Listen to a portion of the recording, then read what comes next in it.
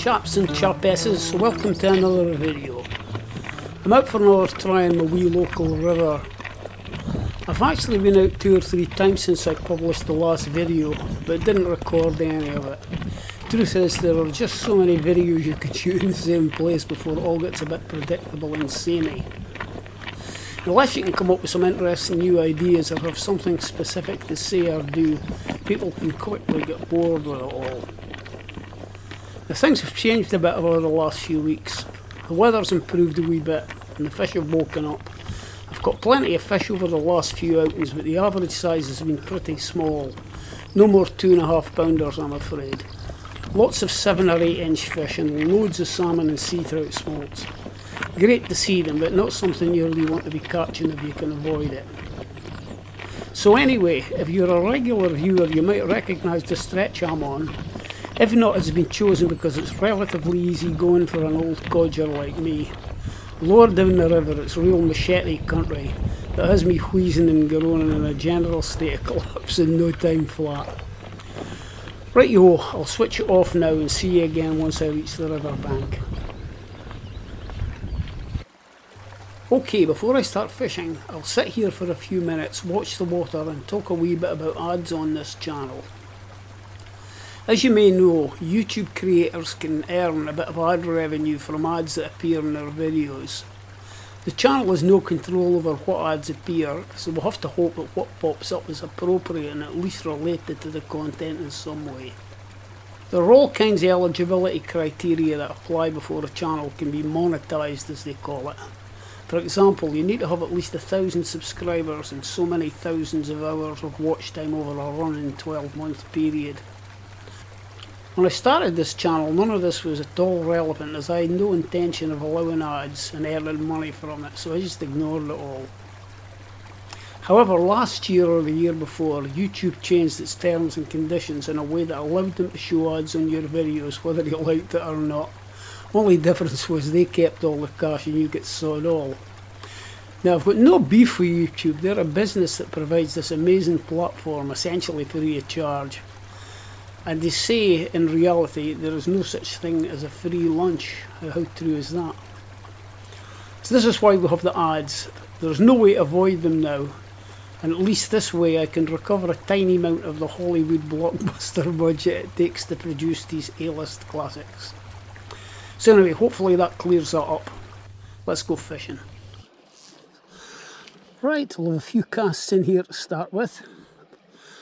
Fish up this run quite quickly and then move on upstream a wee bit. No sign of anything rising at the moment.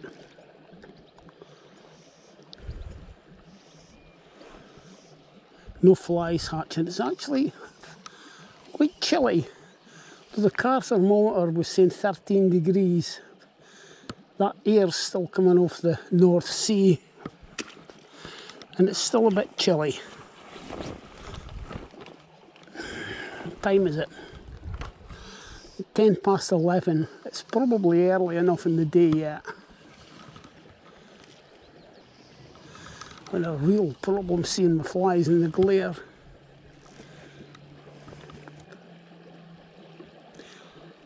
Oh, did I mention I'm fishing dry fly?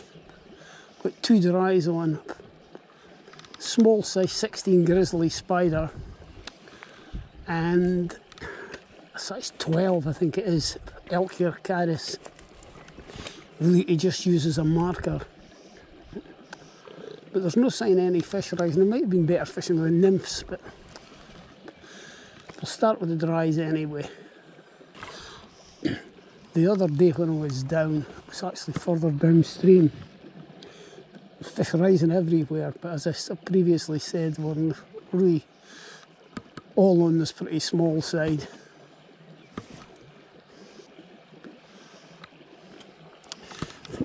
Have just seen a fish nosing the surface up there. Let's take a few steps further up. But then again, I may just be imagining it. Fishing with the old faithful combination today. The Sage ZXL 4 weight and a Scientific Anglers Mastery line. It is an absolutely fabulous combination. Didn't bring the fiberglass rod today. I, I like using a different rod every time I come out of a can. each one's just got a different feel. Absolutely nothing rising in this pool at all, which is a bit of a surprise. I think the fish must still be all in bed. Right, I'll try a bit further upstream and fish this pool again on the way back down again. A few more casts and then I'll move.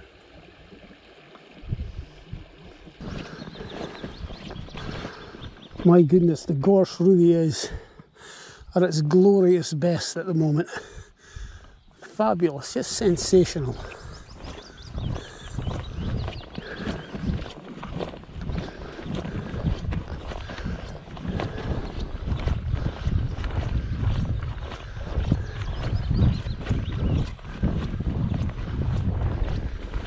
I should maybe talk a bit about the title of this video. I've just decided to call it Bandy Catching Blues, in part to match the title music and also because I catch mainly bandies here. So what the heck is a bandy I hear you cry? I think I may have covered this in one of my very early videos but no harm in doing so again. Bandy is a real northeast of Scotland term for any small fish. In fact, I don't think I've ever heard it outside the Arbroath area. I think it originally described a minnow, minnows having a long lateral stripe or band. So a bandy is a small minnow, but the word has become an almost derogatory term for any small fish caught by an angler. As in, he only catches bandies. It's got the stage now when even a small cod's called a bandy. Anyway, I hope that clears it up. In the UK, every region seems to have its own evocative and descriptive words.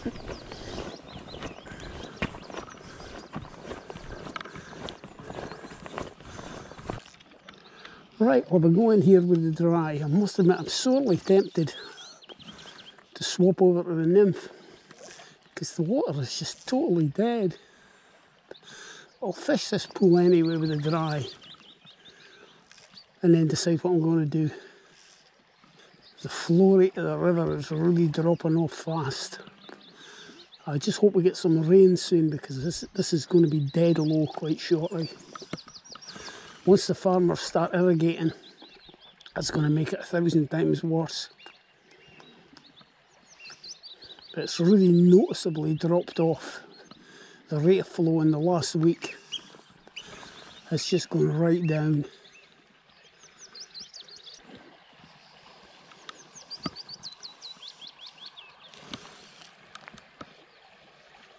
Oh! Mm -mm rose one day and missed it. We didn't miss it, I felt it, but I didn't hook it. I suppose that means I missed it.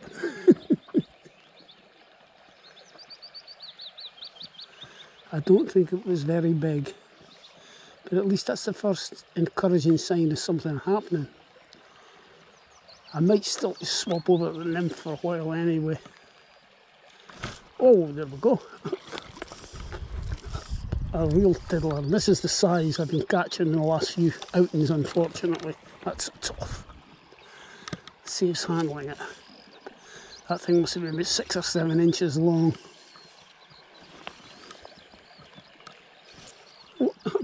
And another one. And it's off as well. That was another tiddler.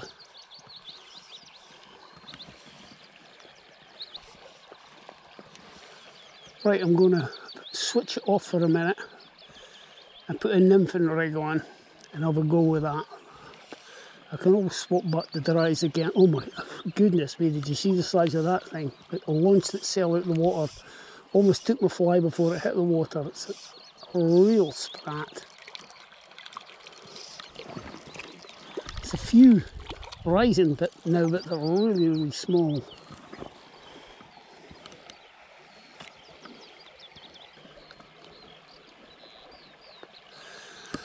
Okay, no messing. Let's go into the nymph. See you shortly. Right, that's the nymph zone. I think I'm going to have to get a, a bit of a bit of stream with a bit more flow in it though. Plus I've probably already spooked everything in here. But have a few casts anyway.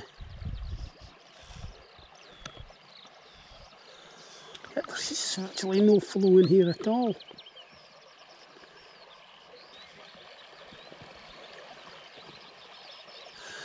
Okay, I'll try upstream a bit.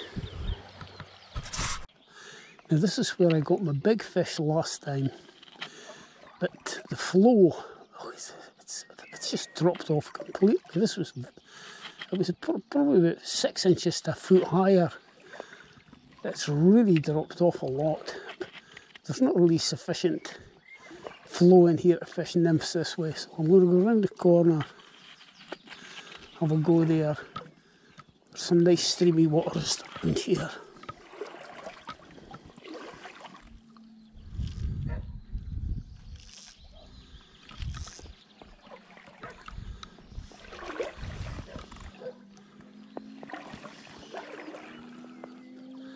The river's just dead.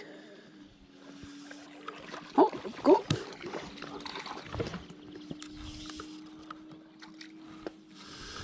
A fish at last. Not a very big one. That toy thing.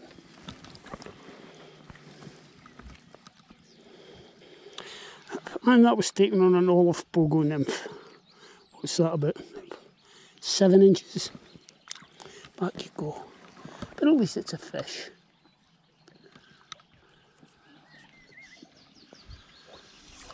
That was in the much faster water.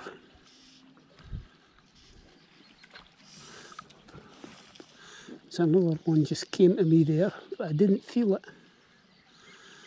It splashed at the pogo nymph.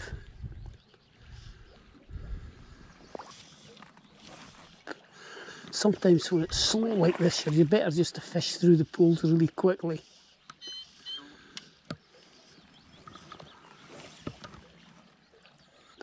My goodness, this really is quite low now. Well, now it's summer levels.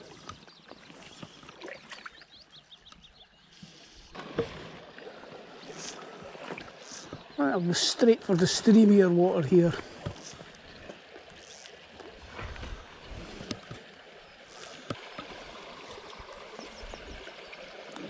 No, not a touch.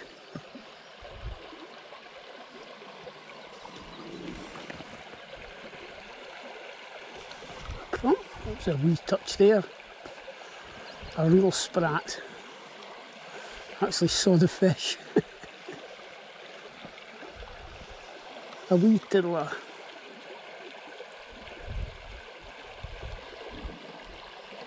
Right, we'll try up a wee bit more.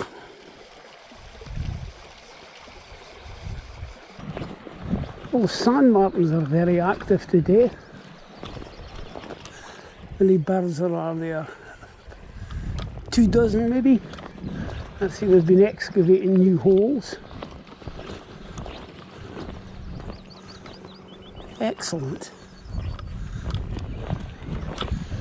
They certainly won't be hoping for high water anyway. Last year they got washed out and they were probably they had eggs or chicks. Towards the end of May we had a, a winter event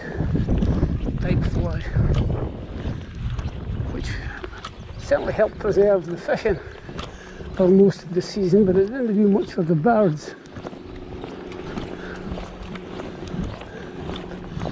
My goodness me, I really notice how much the flow's dropped in this corner pool here. It's remarkable. In just in a week, how much the river has dropped. Incredible. The last time I was out, had to abandon fishing in this pool. Just lost one there. Had to abandon fishing in this pool because it was getting a smolt every cast.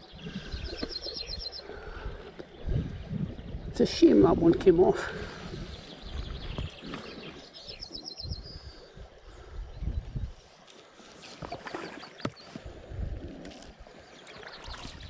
Oh, comes another offer.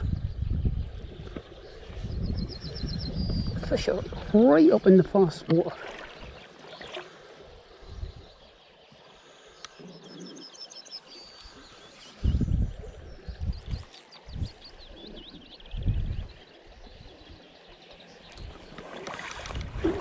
try this faster water up here.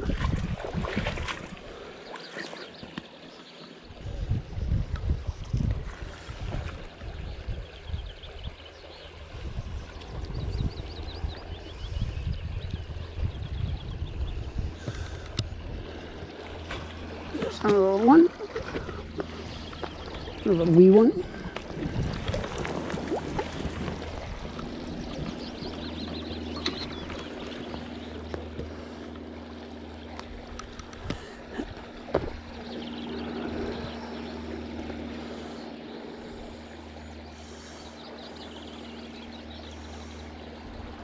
a wee smolt. It is a salmon smolt. That's a salmon smolt. Up you go, salmon. Come back when you're about 15 pounds.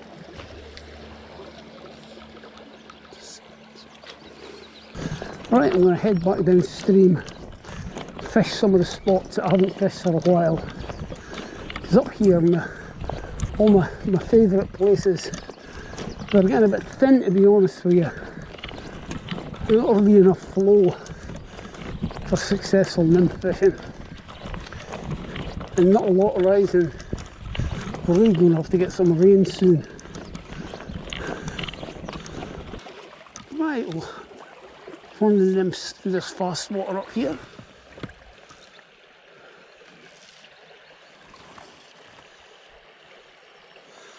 Fish took the indicator there. It's getting to the bottom unfortunately.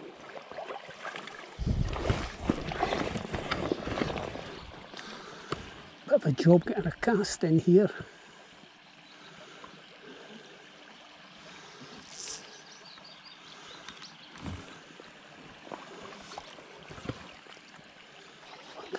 You can see the odd fish rising.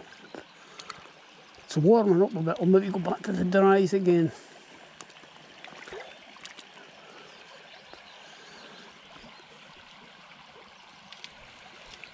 No, I'm just getting snagged. Not enough flow.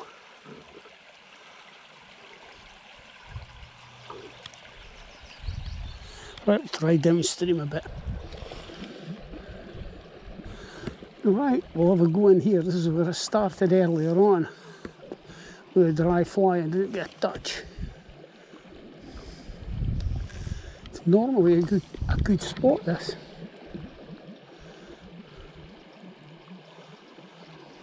Just saw a fish rising away up the up the run there, up upside the rapids. I'm just getting snagged up in the bottom too much.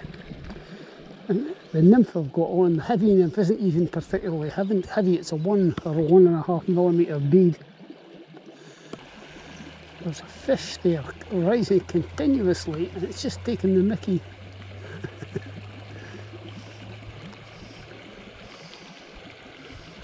No, they're just not interested in these nymphs. I think I'm going to shift back onto dry fly again. Yeah, that's what I'll do. Right, that's me back on the dries again.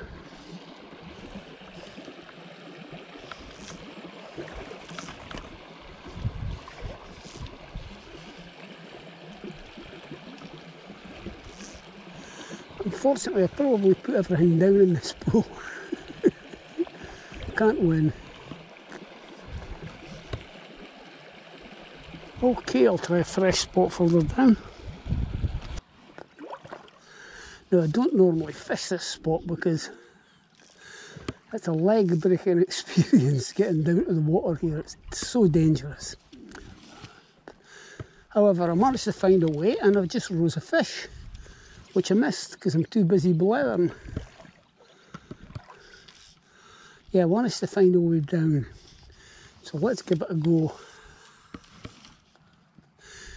It's years since I fished this spot.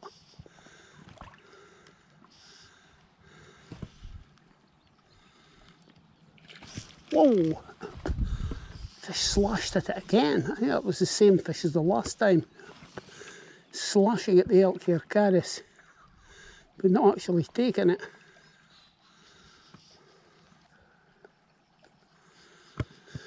Or maybe it's just I'm too slow.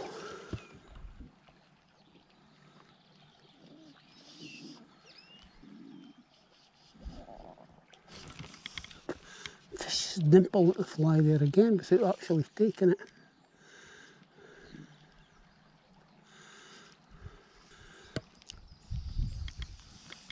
There are absolutely massive shoals of minnows in this pool. Thousands of them at my feet at the moment.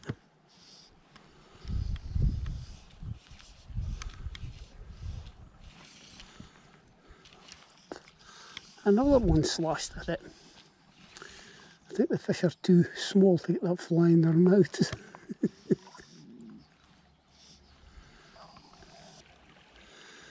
right, try further down again. Right, we'll be going here. Another spot I haven't fished for a while. Notice a couple of small ones rising. It's quite difficult to fish this, with trees all around.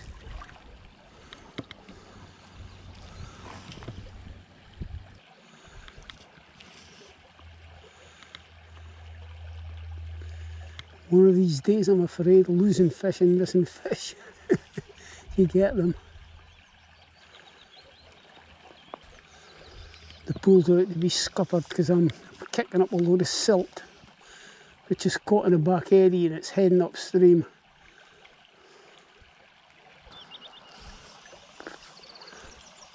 I don't know if that elk hair caddis is uh, maybe just a bit in the big side, but I'm getting loads of rises to it, but I'm not even feeling the fish. It's like they're coming up and slashing at it, trying to drown it or something. I don't know. They're not very big anyway.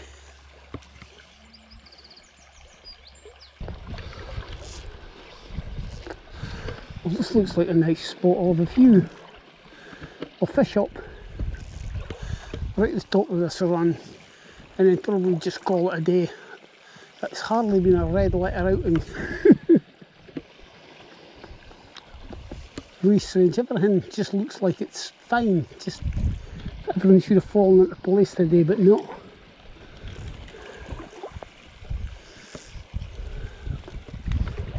I mean, not much in the way of flies hatching.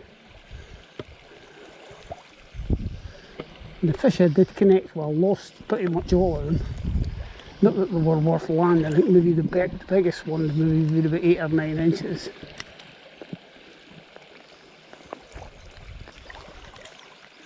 A fish rising right in the tongue of that rapid up there. So we'll fish up towards it. Oh, there's, there's one there. It's just another wee one though, but this just seems to be the stamp of the fish I'm catching here at the moment. I've gone for two and a half pounds to two and a half ounce. That's on boy. But hey, it's a fish. It's a fish.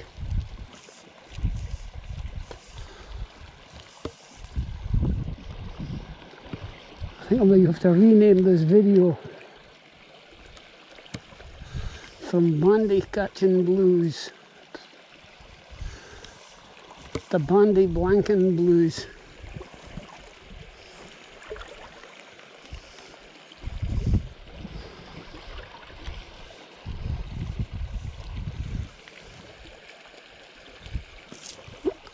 And another one. Whoa, that's a better one.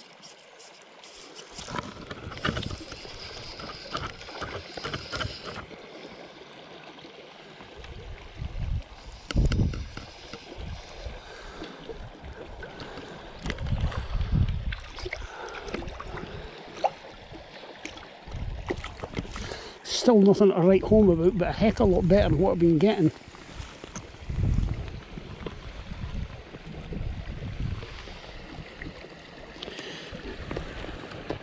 Six ounces, maybe stunning condition. Back you go.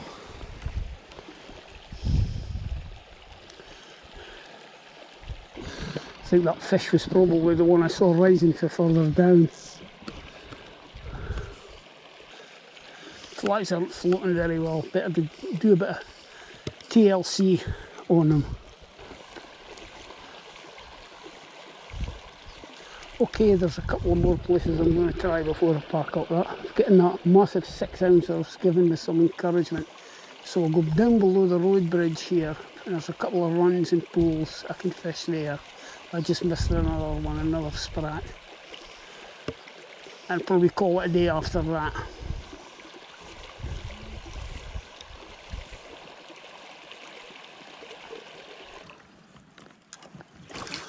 Right, I'll have a wee shot in here, then a shot in the run below the bridge, and that'll probably do this. So here's hoping we can pick someone up here. I don't see anything rising or anything hatching. Sadly.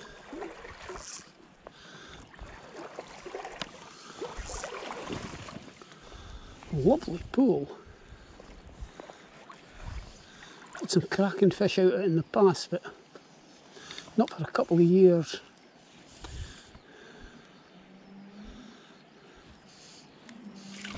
Oh! Another slosh and rise at the Elkhair Caddis, but no connection.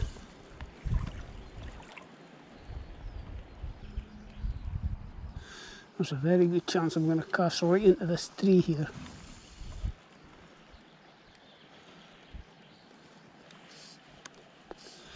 Right go up to the bridge, have a wee shot there and then call it a day. It's just not happening. Okay, last shot.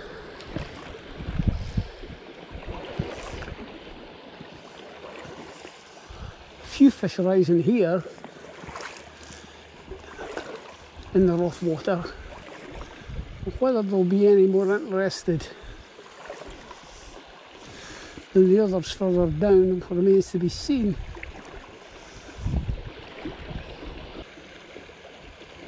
There we go. Saw that one rising, so that, that was a quite a satisfying fish, not very big.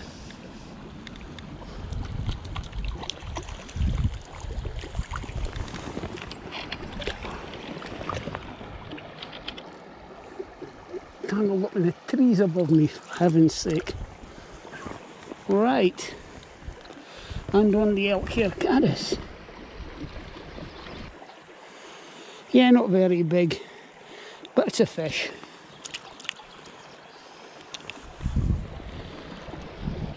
A few more casts. That back eddy over there usually holds a fish if you can get a drag free drift in it. Oh, who's one?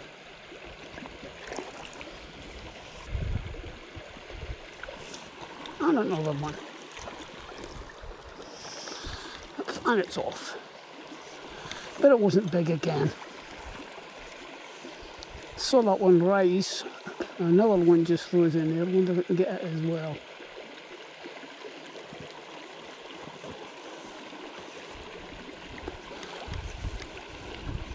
Well guys, I think I'm just going to call it a day at that. Hasn't been the most productive day, not the best day's fishing I've ever had, but a wonderful day to be out and about nonetheless. Certainly beats the hell out of sitting in the house during the winter anyway. we must always remember that when the fishing isn't going entirely to plan, it could be worse, it could be winter.